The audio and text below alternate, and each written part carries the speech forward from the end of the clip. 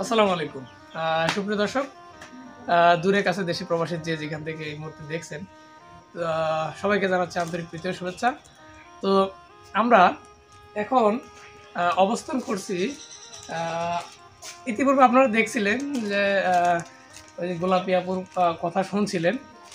তো আমরা সেই গোলাপি আপুর বাসায় আসলাম। তো এই শীতে আসলে দেখতেই পাচ্ছেন আবহাওয়াটা খুব খারাপ। এই খারাপ আবহাওয়ার মধ্যে, খুবই ঠান্ডা। এই ঠান্ডার মধ্যে আসলে আমি আপনারা ইতিপূর্বে দেখছেন যে আসলে অনেক জনকে অনেকগুলো শীতের পোশাক হয়তো কিনে দিয়েছিলাম। কিন্তু আমি সে গোলাপি আপুর কাছে আসা হয়নি। তো আমি আজকে একটা শীতের পোশাক নিয়ে আমি গোলাপি আপুর কাছে আসলাম। তো আমরা যাব আপুর কাছে, আপু এখানে আছে। তো দেখি উনি কি অবস্থায় আছে। দর্শক দেখি আমরা একটু কথা বলব। আসসালামু আলাইকুম। আপু একটু এদিকে যদি ঘুরতেন। কেমন আছেন পরে? করেন কত তো আপনারা আসছিলাম তো মেলা কয়দিন হয়ে গেল। এখন কি অবস্থা? আপনার শরীর স্বাস্থ্য ভালো আছে তো?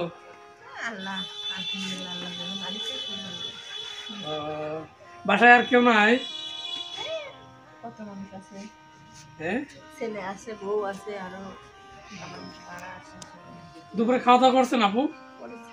কি খাইছেন দুপুরে? ভাত একটু এখানে বসে কথা বলি। বসে কি দিয়ে ভাত খাইছেন দুপুরে? শাক ভাজা। শাক ভাজা। ও, বিপদ। আপনার ছেলে কি বাড়িতে আছে? এমনি কি এখন কি কাজকর্ম করে? নাই। সুপ্রিয় দর্শক আসলে আপনারা জানেন অথবা অনেকে দেখছেন যে এই গোলাপি আপু ওনার জন্ম থেকে ওনার একটা মানে দুটো পায়ের সমস্যা ওনার কোমরের নিচ থেকে শক্তি পায় না। মানে ইতিপূর্বে আমরা ভিডিওতে যা জানছিলাম, ইতিপূর্বে যে ভিডিও প্রকাশ করছিলাম, হয়তো অনেকে দেখছেন, তার যারা দেখেন নাই, তাদের জন্য একটু বলি যে, এই আপুটা কোমরের নিচ থেকে দু পায়ে মানে কোনো শক্তি নাই। আপনারা দেখতে পাচ্ছেন যে আসলে উনি দাঁড়া হয়ে দাঁড়াতে পারে না, সোজা হয়ে দাঁড়াতে পারে না। তো আম- আমার সে জার্মান প্রবাসী আপু আমার কাছে কিছু টাকা পাঠিয়েছিল যে শীতের পোশাক কিনে দেওয়ার জন্য। তো আমি এই গোলাপি আপুর জন্য একটা শীতের পোশাক কিনে নিয়ে আসছি। তো আজকে এখন দিব। আপু, আপনি কি শীতের, এই যে শীত যে যাচ্ছে, শীত তো কম নাই। শীতের পোশাক কি আছে? নাই? ও, কিনা হয়নি।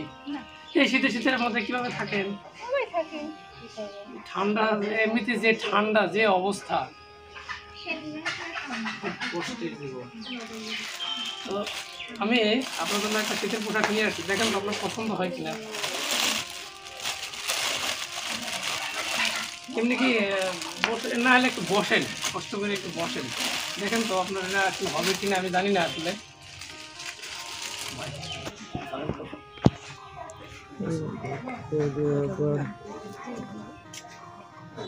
আপু আসলে এটা একটু দেখেন তো একটু কষ্ট করে প- পরা যায় কিনা।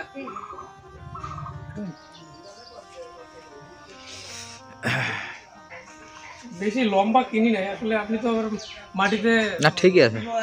চলেন তো এই জন্য লম্বা না কিনে খাটো কিনেছি। আসলে লাগে কিনা লম্বা আমি কিনতে পারতাম।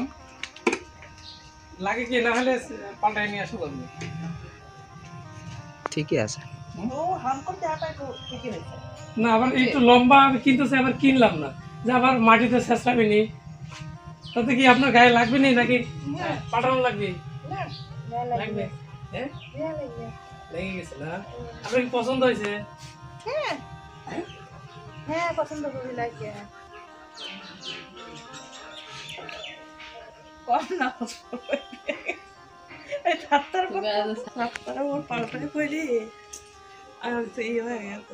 বড় লাগতো নাকি? আর সাইজ একটু বড়ই লাগতো। আর সাইজ একটু বড়ই লাগতো।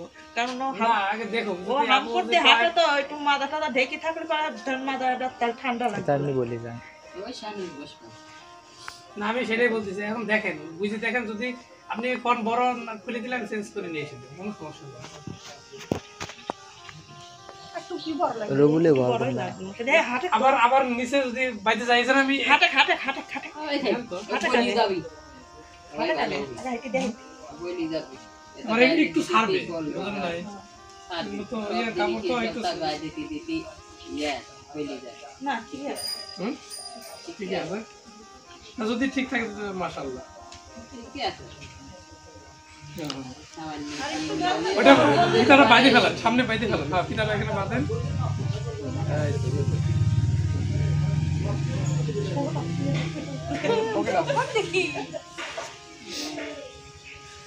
দর্শক আপনারা আসলে দেখতে দেখতে পাচ্ছেন আমার সেই জার্মান প্রবাসী আপু, উনি যে টাকা পাঠিয়েছিল ওনার ওই টাকা থেকে আমি এই গোলাপি আপুর জন্য একটা পোশাক কিনে নিয়ে আসছি। তো ওনার যে জীবন আসলে খুবই দুর্বিষহ, খুবই কষ্টে উনি চলে। আসলে মানুষের কাছে কাছে হাত পাতা ছাড়া ওনার আসলে ইনকাম করার কোনো রাস্তা নেই। আপনারা অনেকেই তো আছেন, সমাজের অনেক সামর্থ্যবান, অনেক বিত্তবান। আসলে আসুন না, এরকম কিছু লোকের পাশে আমরা দাঁড়াই। আপনাদের মাধ্যমে যদি ইনি দুবেলা দুমুঠো খেতে পারে, তাতে সমস্যাটা কোথায়? হ্যাঁ তো আপনারা চেষ্টা করবেন আমার সেই গোলাপি আপুর পাশে থাকার জন্য। চেষ্টা করবেন যে আসলে এই আমার সে গোলাপি আপুর মতো আরও লোকজন সমাজে অনেকে অনেক জায়গায় আছে। এর চাইতে আরও খারাপ অবস্থায় আছে। এর চাইতে আরও ভালো অবস্থায় আছে। যারা খারাপ অবস্থায় আছে ওনাদেরকে চেষ্টা করেন বা আমরা আমাদের সামর্থ্য অনুযায়ী চেষ্টা করি। তাহলে আমাদের সেই সমাজের মানুষগুলো যারা অসহায়, অবহেলিত এই যে যেমন এই যে আপুর একটা ঘর নাই। এই এটা হলো রেলওয়ের ঘর। এই ঘরে পরিত্যক্ত ঘর, স্টেশনের পরিত্যক্ত ঘর এই ঘরে আপু থাকে। কেন? এ- ইনারা তো সমাজে বেঁচে থাকার অধিকার আছে। আমরা কেন পারি না ইনাদেরকে একটা ঘর করে দিতে? আজকে যদি রেলওয়ে মনে করে যে এই ঘরটা আমি ভেঙে দিয়ে আমার এই জায়গায় স্টেশনে বড় করব, তাহলে তো এই স্টেশনটা মানে এই ঘরটা আর এই ইনার থাকবে না। তখন কি হবে? এ আমার এই আপু হয়ে যাবে একবারে গৃহহীন। তো গৃহহীন হলে আমার সমাজের মানুষ। আমরা চেষ্টা করি আমরা চেষ্টা করলেই তো পারি। হ্যাঁ, আমরা চেষ্টা করলেই পারি। আমরা আমরা পারব না কেন? অবশ্যই চেষ্টা করবেন যে আমার এই গোলাপ বাবুর মতো যারা সমাজে আছে গৃহহীন প্রধানমন্ত্রী আমাদের জননেত্রী শেখ হাসিনা ঘোষণা দিছে যে আমার দেশে একজন মানুষও গৃহহীন আজকে আজকে এই রেলওয়ের জমি, সরকারি জমিতে উনি রয়েছে। তো ওনার এই জমিটা যদি রেলওয়ে মনে করে যে আমি ভেঙে দেবো উনি তো গৃহহীন। তো আমি উপযুক্ত কর্তৃপক্ষের প্রশাসনের দৃষ্টি আকর্ষণ করব যে যারা এই দায়িত্বে আছেন, আমি আশা করব যে অল্প একটু জমি হলেও এই আবুকে যাতে জমি সহ একটা ঘর অনুদান হিসেবে দেওয়া যায়। তাহলে আমার এই আপুটা আপনার একটু মাথা গোজার ঠাই পাবে। অথবা ওনাতে ওনাকে যদি স্বাবলম্বী করার মতো কোনো একটা প্রকল্প বা কোনো সহযোগিতা করা যায় সবাই চেষ্টা করবেন যে যার জায়গা থেকে। তো সুপ্রিয় দর্শক আর বেশি কথা বলব না। আপু আমার আমার যে আপুটা আপনাকে আপনার এই সোয়েটারটা পাঠাইছে আপনার ভিডিওটা দেখছে। আমি আগের দিন ভিডিও করছিলাম ভিডিওটা দেখে এইটা পাঠাইছে। ওনার উদ্দেশ্যে কি কিছু বলবেন? আল্লাহ তার জন্য আমি দোয়া করলাম সে যেন ভালোভাবে চলতে পারে সংসার করতে পারে সে যেন ভালোই হতে পারে সেই জন্য আল্লাহ আমাকে যে দান করল তার জন্য আল্লাহ ভালোবাসে তার জন্য আল্লাহ করে। আমার জন্য যেহেতু সেই করেছে আল্লাহ তাকে ভালোবাসে আল্লাহ তার কাছে যাওয়ার তফিক দিয়ে কারও দিন দেয়। তো সুপ্রিয় দর্শক আসলে উনি সহজ সরল মানুষ। উনি বেশি কথা আসলে এভাবে বলতে পারে না। তো সবাই তো আসলে দেখলেনই আসলে কি অবস্থা। এটা তো বাড়তি কথা, কোনো বলার দরকার নেই। তো আমি আর কথা বাড়াবো না, অনেক কথা বলে ফেলছি। তো আপনারা আপনাদের জায়গা থেকে সবাই চেষ্টা করবেন এদের মতো, এই আমার এই আপুর মতো লোকদের পাশে থাকার জন্য।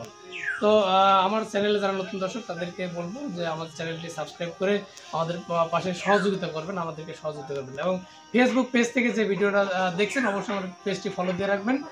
যাতে এরকম আপনাদের উৎসাহ হয় আমরা যাতে এরকম আরও আরও কিছু সমাজের অবহেলিত লোকদের পাশে আমরা দাঁড়াতে পারি। তো আর বেশি কথা বলব না। সবাই ভালো থাকবেন, সুস্থ থাকবেন। এই কথা বললে এখনকার মতো বিদায় নিচ্ছি। আল্লাহ হাফিজ।